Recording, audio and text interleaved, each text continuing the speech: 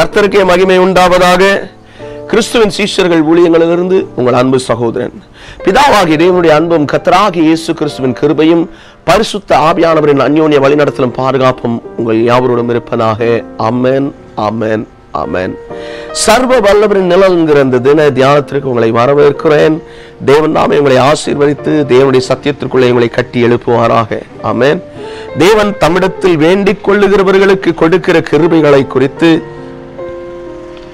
அநேக காரியங்களை வேதம் சொல்லித் தருகிறது. இந்த நாளிலும் கூட நாம் கத்தராகிய கத்- இயேசு கிறிஸ்துவின் ஊழியத்தை நிறைவேற்றின அப்போஸ்தலர்கள் நாம் அப்போஸ்தலராகிய பவுளை பற்றி பார்க்கிறோம். அவன் எழுதின நிருப புஸ்தகமாக இருக்கிற எப்- எபேசியர் நிருப புஸ்தகத்திலிருந்து இந்த நாட்களிலே வார்த்தைகளை பார்க்கலாம். அமேன் தொடர்ச்சியான தியானத்துக்கு நேரங்களை வரவேற்கிறேன்.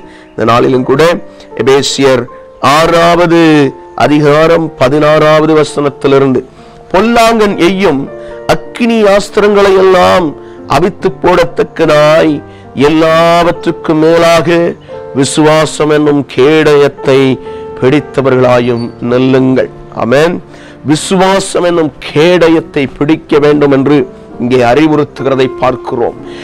ஏன் அப்படியே பார்ப்பீங்கன்னா நமக்கு நம்முடைய வாழ்க்கையிலே பிசாசானவன் செய்கிற ஒரு பெரிய ஒரு காரியம் நம்முடைய விசுவாசத்தை எப்படியாவது எடுத்து விட வேண்டும் என்கிறதை முயற்சியை தான் அவன் செய்கிறதை பார்க்கிறோம்.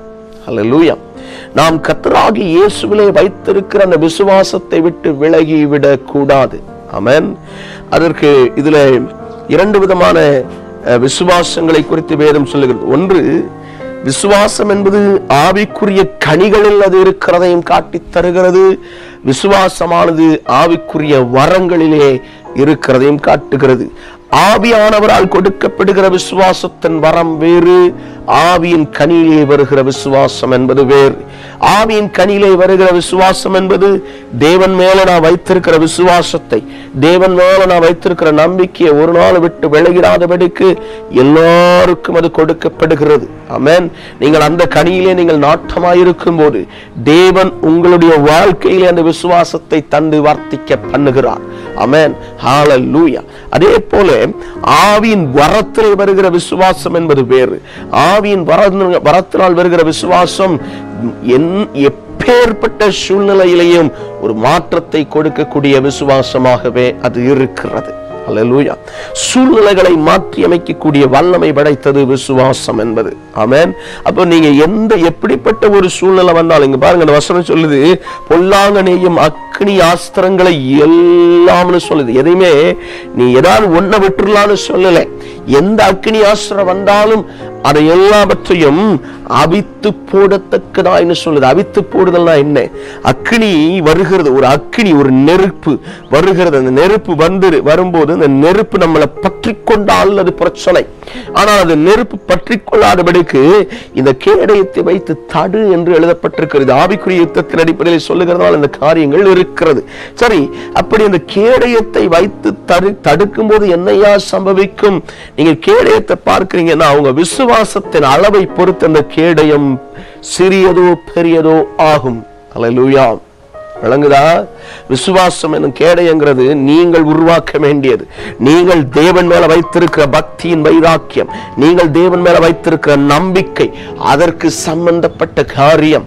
அந்த விசுவாசம் என்னும் கேடயத்திலே நீங்கள் நிலைத்திரு நிலைக்க பண்ணி விசுவாசம் என்னும் கேடயத்தை வைத்து டிஃபெண்ட் அதாவது எதிர்த்து வருகிறதை அப்படி தடுத்து நிறுத்தக்கூடிய காரியத்தை நீங்கள் செய்யும் போது அது உங்களை பாதிக்காமல் இருக்கும். அல்லேலூயா நீங்க ஒருவேளை இந்த சரித்திரம் பூர்வமான சில சில சில சில படங்கள் அல்லது நீங்க அந்த டாக்குமெண்ட்ரிஸை கூட கூட பார்க்கலாம் சில விஷயங்களை. அப்படிப்பட்ட காரியத்தை நீங்க பார்க்கும்போது சரித்திரபூர்வமாய் வருகிற படங்கள்ல ஒவ்வொருத்தரும் ஒவ்வொரு விதமான டிசைன்ல அந்த கேடயத்தை வச்சிருப்பாங்க. ஒரு சிலர் ரவுண்டா இருக்கும் ஒரு சிலர் இப்படி நீளமா இருக்கும் ஒரு சிலர் பாதி வரைக்கும் இருக்கும். அப்படி ஒவ்வொரு விதமா இருக்கும். அதை பார்த்துருப்பீங்கன்னு நினைக்கிறேன். உங்களாலேயும் அந்த கேடையை தூக்குற மாதிரி இருக்கணும். இன்னொன்று அந்த கேடையும் உங்களை பாதுகாக்கக்கூடியதாக இருக்கணும். இந்த பாதுகாப்பு எப்படி? எதிரி தூரத்துலேருந்து ஒரு அம்பை எய்யும் போது அந்த அம்பு அந்த கேடயத்தை தொலைச்சி உள்ளே வந்து நம்மளை அடிச்சிடக்கூடாது. இல்லையா அப்போ என்ன செய்யணும்? இந்த கேடயத்தை எவ்வளவு ஸ்ட்ராங் ஆக்க முடியுமோ அதாவது விசுவாசத்தை நீங்க எவ்வளவு அதிகமாய் தேவன் மேல வைக்க முடியுமோ அவ்வளவுக்கு அதிகமாய் நீங்கள் வைத்திருங்கள். எந்த பிரச்சனை வந்தாலும் கர்த்தரனை பாதுகாப்பார் கர்த்தரனை விடுவிப்பார். கர்த்தரை நான் சார்ந்து கொள்ளுவேன் சொல்லி நீங்க நிற்கும் போது பிரச்சனையின் சாராம்சங்கள் ஒன்றுமில்லாமல் போகும்படி பிரச்சனையின் வீரியங்கள் அல்லது தீவிரங்கள் ஒன்றுமில்லாமல் போகும்படி தேவன் கிரியை செய்கிறார். ஆமென். ஹalleluya. ஆனா விஷயம் என்ன தெரியுமா? இந்த அக்கினி வரதான் செய்யும். இந்த நெருப்பு நம்மை தகிக்கும்படி வரதான் செய்யும். குறிப்பா பாத்தீங்கன்னா ரொம்ப தெரியாதவங்க கிட்ட இருந்தல்ல நன்கு பழகினவர்களிடத்திலிருந்தே வரலாம். அதெல்லாம் நீங்க வந்து மனுஷங்களுக்கு எதிராக நிக்க கூடாது ஏன்னா வசனங்கள் ஆரம்பிக்கும் போதே பன்னிரெண்டாவது வசனத்தில் சொல்லுது மாம்சத்தோடும் ரத்தத்தோடும் அல்ல. மாம்சத்தோடு ரத்தத்தோடையும் நமக்கு போராட்டமே இல்லை. அப்போ துறைத்தனங்களோடும் அதிகாரங்களோடும் இப்பிரபஞ்சத்தின் அந்தகார லோகாதிபதிகளோடும் வான மண்டலங்களில் உள்ள பொல்லாத ஆவின் சேனை என்று சொல்கிறதே அப்போ பிசாசின் போராட்டங்கள் ஆவிக்குரிய யுத்தங்கள் மனிதர்கள் மூலமாய் பயன்படுத்தப்பட்டாலும் மனிதர்களால் அல்ல பிசாசின் தந்திரத்தால் நடக்கிறது. அதனால மனுஷங்க மேல நீங்க எதிர்வினையை நீங்கள் ஆற்றி விடாதிருங்கள். மனுஷர்களுக்கு எதிராக நின்று விடாதிருங்கள். கத்தராக இயேசு சொல்லி கொடுத்தபடி மனிதர்கள் மேல அன்பு வைத்திருங்கள். மனிதர்களை நீங்கள் நேசிக்கிற தன்மையில இருங்கள். உங்கள் உங்கள் குடும்பத்தில் இருக்கிறவங்களை நீங்கள் நேசிக்கிற பகுதியில் நீங்கள் கடந்து போகும்போது கர்த்தர் உங்களை பலப்படுத்துவார். ஆமென். லூயா உங்கள் குடும்பம் மட்டும் இல்லை உங்க உங்க கிராமமா இருக்கலாம் உங்க வீடா இருக்கலாம் அல்லது உங்களுடைய உங்களுடைய சபையா இருக்கலாம். எல்லார் மேலே அன்பு கூறுகிற இருதயத்தோடு செயல்படுங்கள் கத்துறவங்களை உங்களை சரி அப்புறம் அந்த கேடயத்தை சொன்னனே ஒவ்வொருத்தருக்கும் ஒவ்வொரு விதமான அளவீடு.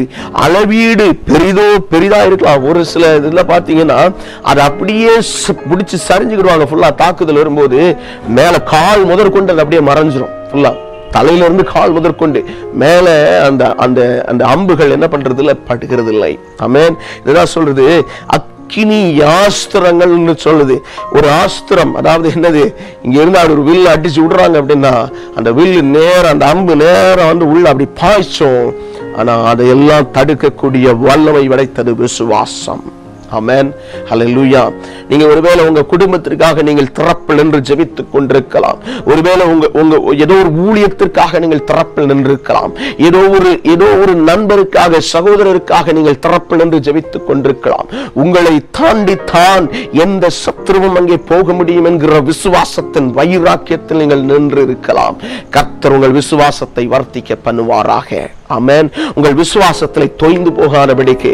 ஏன்னா சில இடத்துல சில விதமான எண்ணங்களுக்கு இடம் கொடுக்கும் போது இந்த விசுவாசம் தொய்ந்து போயிடும். அதனால ரொம்ப கவனமா இருங்க. விசுவாசம் தொய்ந்து போகிறதுக்கான காரணங்கள் நிறைய உண்டு. அதுல ஒண்ணு யாரோ ஒருத்தர் ஏதோ ஒண்ணு சொன்னதை நம்பி அந்த காரியத்துக்கு நேரே நீங்கள் திருப்பப்படும் போது உங்கள் விசுவாசம் என்னும் கேடயம் தளர்ந்து போக வாய்ப்பு உண்டு. மற்றவர்கள் பேசுறதை நீங்க எடுத்துக்கிட்டு உங்கள் விசுவாசத்தை நீங்கள் குழப்பி விடாதிருங்கள். உங்கள் விசுவாசத்திற்கு எதிராக நீங்கள் தான் செயல்பட முடியும். வேற யாரும் வர முடியாது. நல்லா புரிஞ்சுக்கோங்க. உங்க விசுவாசத்தை நீங்க கனம் பண்ணுகிறதுக்கு உங்க விசுவாசத்தை நீங்க இன்னும் பெருக வைக்கிறது உங்க கையில தான் இருக்கு. அதை குறுக வைக்கிறதும் உங்க கையில தான் இருக்குது. அலலுயா அதனால விசுவாசத்தை சரியாய் பற்றி கொண்டு விசுவாசம் என்ற கேடயத்தை பிடிச்சு கொண்டு நில்லுங்கள். கத்தர் உங்களை ஆசீர்வதிப்பார். ஆமேன். ஹலலூயா கண்களை மூடி ஜெபிப்போமா? நீதியின் தகப்பனே ஒருவரும் சேராத ஒளியில் வாசம் பண்ணுகிறவரே நீரே எங்களோடு இருந்து இந்த வார்த்தையின்படியே நாங்கள் கை கொண்டு நடக்க எங்களுக்கு உதவி செய்யுங்க. விசுவாசம் எனும் கேடயத்தை பிடிச்சு நிற்க எங்களுக்கு உதவி செய்யுங்க. அந்த கேடயத்தை பலப்படுத்த உதவி செய்யுங்க. இயேசு கிறிஸ்துவின் மகிமையில திருநாமத்தில் அர்ப்பணிக்கிறோம் பிதாவே. ஆமேன் ஆமேன் ஆமேன். சர்வ வல்லவர் உங்களை பலப்படுத்துவாராக.